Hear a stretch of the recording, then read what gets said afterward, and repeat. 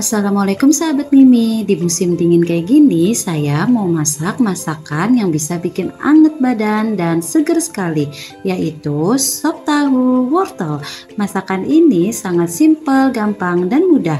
Untuk bahannya di sini saya menggunakan satu buah wortel Wortel yang telah dikupas kulitnya saya iris-iris terlebih dahulu Kemudian nanti kalau sudah diiris semua wortelnya kita cuci ya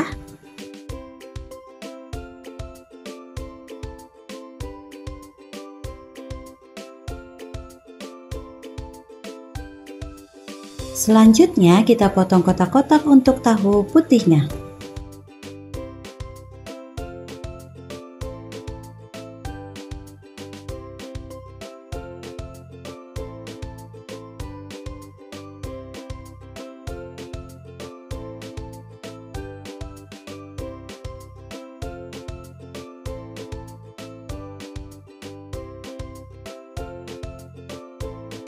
Untuk bumbunya di sini saya menggunakan 3 siung bawang putih.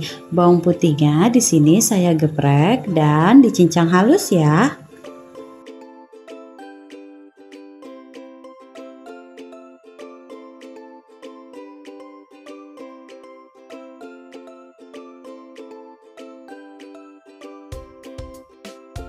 Langkah pertama kita panaskan minyak, kemudian kita masukkan cincangan bawang putih ke dalam minyak yang telah kita panaskan.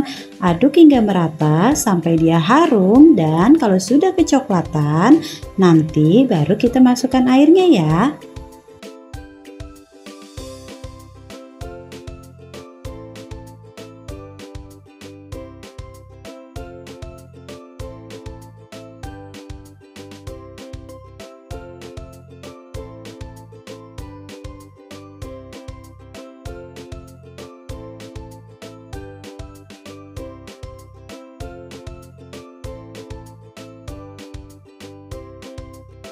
Kalau airnya sudah mendidih, kita masukkan semua wortel yang telah kita cuci bersih, kemudian tunggu hingga wortelnya matang. Dan kalau wortelnya sudah agak empuk, baru kita masukkan potongan tahu putihnya. Sekarang kita kasih seasoning ya, masukkan penyedap kaldu, lada bubuk, dan garam.